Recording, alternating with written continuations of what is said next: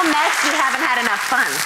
That's a great point. If there's no mess in the kitchen, you probably didn't have a lot of fun cooking or cleaning. Oh, they just told me to zip up my shirt. Did you see that?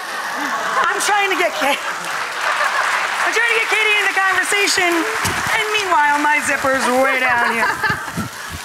So, Katie, what did you think of my bra? Was that was that for you? I was gonna ask you about it. I was gonna ask you about it. Also, it's good to be half naked in the kitchen. I find that everything turns out better. It's very sexy in the kitchen to cook half naked, yes. you know, my sister in our family, in, in my family, my mom and I love to cook, and my sister's the baker. My mom and I burn bread, literally. Burn like store bought bread. We're terrible bakers. We set stuff on fire all the time. Do you love to bake? I do love to bake because I love, you know, like cookie dough.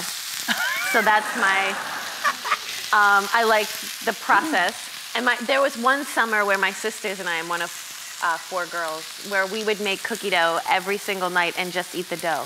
It was crazy, but it was so good. That you had an obsession with a family obsession with cookie dough. Yes, yes.